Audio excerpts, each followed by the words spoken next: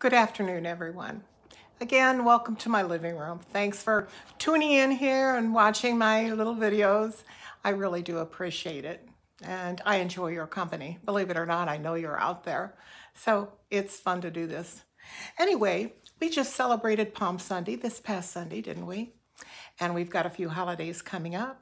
We've got Good Friday, this coming Friday. And then Sunday is Easter or Resurrection Sunday. There's also another little holiday in there called Passover that the Jewish people celebrate. Jesus celebrated this, this holiday when he was alive on earth in physical form. Are, are you all aware of what Passover is about? I'm going to tell you just a little about it. If you've seen that old movie with Charlton Heston in it, Ten Commandments, you'll know you'll remember these scenes. There were several things that Moses did, you know, in trying to get Pharaoh to allow his people to leave the slavery in Egypt. And Pharaoh kept hardening his heart and refusing. Finally, God sent the angel of death over the city. It was a plague of sorts, but the Hebrews could escape from that by slaughtering a lamb and spreading the lamb's blood over the lintel and the doorposts of their doors around it. If the lamb's blood was there as the angel of death entered the city, it passed over those houses. It did not enter those houses. Now, nobody was immune unless they had the lamb's blood over their door. Even Pharaoh paid if the, if the plague or the angel of death entered because they didn't have the lamb's blood, then the firstborn in that household died. Pharaoh's own son died, if you'll recall that scene because of it, because he had hardened his hearts. But if the lamb's blood was there, was there, it passed over those houses. Passover. And because of Jesus' death on the cross, what we celebrate Friday, as this, you know, chalice says, he's our covenant. He is our Passover lamb because he shed his blood for us. That is how he becomes our Passover lamb.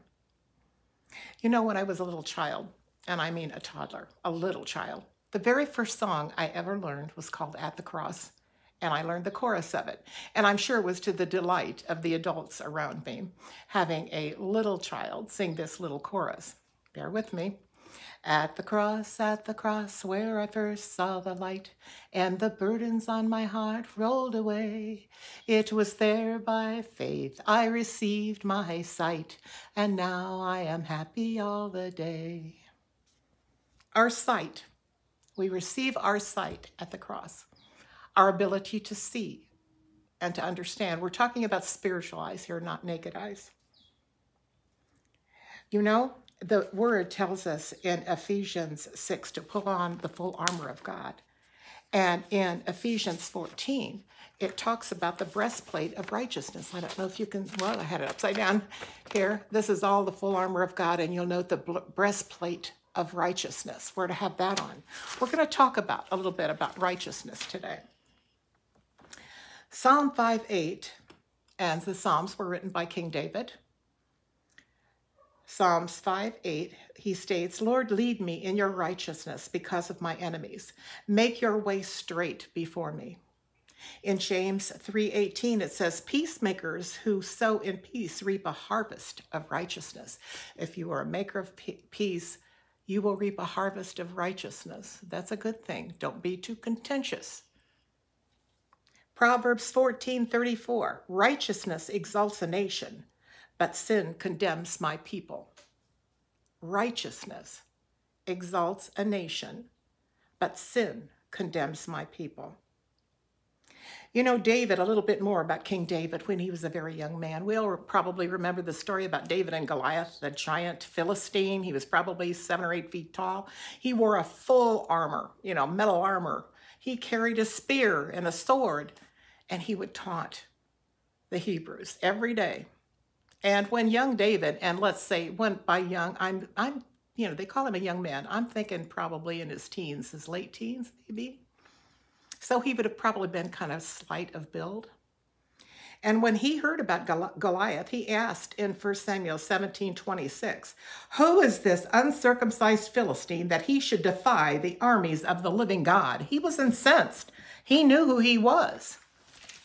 He knew. And when he finally, when they allowed him to face Goliath, which they didn't want to do at first, but he talked them into it, he gave God all the credit in this win. In 1 Samuel 17, 17, when God, when Goliath came at him and was taunting him, you know, like you pipsqueak, you know, in essence, calling him that you're nothing. You know, Goliath was all decked out in his metal finery, his armory, armor, and had his sword, and he threatened David. And David answered him when he talked to Goliath. It is not by sword or spear that the Lord saves, that the Lord gives. No, that the Lord saves, excuse me. For the battle is the Lord, and he will give all of you into our hands. David was a righteous man of God. In fact, God called him a man after his own heart. Now, that's how he started out. He used to dance in celebration before the Lord. He played musical instruments. As King Saul, the king previous to him, used to have him. He would suffer anxiety, and when he would ask David to come and play for him, the songs calmed his spirit. So he was often called to play his instruments for Saul. That being said, we've also all heard the story about David and Bathsheba. Mm, things got messed up then, didn't, didn't it? He saw Bathsheba bathing. He lusted after her. He had her husband killed in battle. And he, so he was a man of great sin as well he uh, in that he the when David and Bathsheba had their first child, a son, he he he died. David lost other sons later in battle. So he he had to pay for his sin, but he also repented of his sin. He was a great repenter. I mean, he would prostrate himself before God. Oh God, I have sinned. You know, that type of thing, like when he did with Bathsheba when he repented about that. You know, there was another time when David's intention was good, but something else happened. In 1 Chronicles 13, 9 to 10, when he wanted to move the Ark of God from where it was to a place in Jerusalem where he, it belonged. And he didn't bother to check out in Exodus 29 God's way of moving that ark. He didn't bother to check how to do that. He just kind of, they put it on a cart, and pulled by oxen, and they were people traveling around the cart. Uzzah was one of those people. One of the oxen or the oxen stumbled, and Uzzah reached up to steady the ark. And when he touched it, he was struck dead by the Lord. When David heard about that, oh, he was absolutely beside himself. And then he decided to check out Exodus 29 and the way that God wanted the ark to be transported. One of the ways was that only the Levitical priests were to be able to be around the ark at all. They had to go through all kinds of rituals to prepare for transporting, but only they could transport the ark. In 1 Chronicles 15, 12, David says, No one but the Levites may carry the ark of God. So that's, and that's what the Lord said. Long story short, he was successful in moving the ark because he wanted to do things God's way. Now that's righteousness. Details that he hadn't followed, that God wanted followed. Details matter to God. God's instructions matter to him. David loved God and he wanted to please God. And that's where we need to be. To be righteous before God. I want to please you, God, because I love you. Is this you? Are you at that place where you're ready? that you love God enough that you want to please Him, to be righteous, and obey Him no matter what it is. There's some benefits to righteousness. In James 5:16, the prayers of a righteous person avails much, or they're powerful and effective. In 1 Peter 3:12, for the eyes of the Lord are on the righteous, and his ears are attentive to their prayer. That's pretty darn significant, isn't it? That's when things start to happen. Spiritual blindness, not good. That's where it's sourced in rebellion and sin. Are you willing to give that up? That's a challenge for you today. Do you want to be free to see what God is doing and to have your prayers answered. All very good things. Psalm 139, 23 and 24. Are you ready, as David says, to say to God, Search me, God, and know my heart. Test me and know my anxious thoughts. See if there is any offensive way in me. Are you ready to say that to God and mean it? In Psalm 51:10, it also says, "Create in me a pure heart, O God, and renew a right spirit within me." You know, back when we used to sing that verse, and the Psalms, in fact, are songs.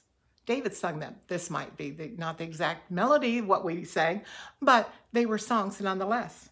Create in me a clean heart or a pure heart, oh God, and renew a right spirit within me.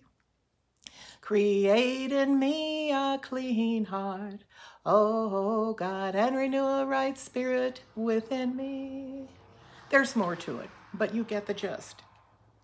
And when we can honestly get to the point where we are willing to sincerely pray that to God and say that to God from our heart, and we mean it, bear all before God because He sees it anyway. I mean, you know that He sees this. Even a child, I, I knew it's like, well, God, you can see what I'm thinking and doing anyway, so I might as well just lay it out there for you. Even as a child, I knew that one. Like, duh, you know, one of those things. Then in Joel 2:25 it says, "I will repay or restore all the years the locusts have eaten or stolen." And I'm sure we all want that. We want everything restored. Yes, we make mistakes. Our responsibility is to find out through God's word and prayer exactly what God says and wants. And then we need to repent and see if he won't restore to you all the things that, think, that have been stolen from you, that are truly meaningful to you into your life. All of those things. Now, he might not do it in your time frame. He's pretty sovereign about that, and he's going to do it in his own way. It, it, it might, you can, if you want to go ahead and lay out all the way you think it should happen, do so, but I've, I've learned from experience that's pretty ineffective. He usually doesn't do it my way or the way I think it should happen. But he is faithful. His arm is not short. He can do it. He will do it. In God's kingdom, in heaven, all is righteous and holy and perfect. Now keep that in mind as we close, because we're going to close with the Our Father, the Lord's Prayer, which Jesus said in this, on the Sermon on the Mount, that that's the perfect way to pray. And that was how we should be praying.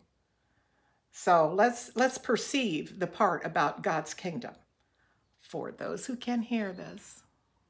Listen, it's the perfect prayer. Our Father, who are in heaven, hallowed or holy be your name. Your kingdom come. Your will be done on earth as it is in heaven.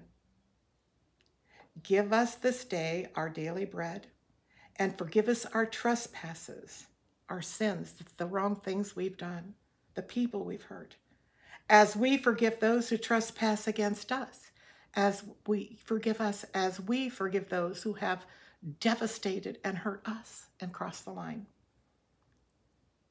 And lead us not into temptation, but deliver us from evil. Don't let Satan come near us. Put a hedge of protection around us, Lord. For you, Lord, are the kingdom, the power, and the glory forever. Amen. Did you pray that with me today?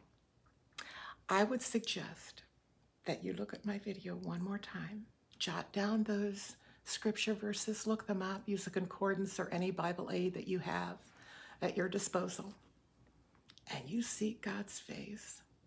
And you know, a lot of people say, follow your heart. Yeah, you won't go wrong if you follow your heart. Well, you know what? The word says that our heart is deceitful above all things. Hmm. Unless it's redeemed. Let's go about our Father's business today. While you're forced to be at home right now during this time, this is a good time to do what you need to be doing. You know, there's a lot of conspiracy theories out there, and some conspiracies really are real. There are conspiracies. But you know what? Our duty right now is to personally seek God and what He would have us to be doing in this season. Thank you for watching. I'll be with you shortly again. God bless you, and I love you.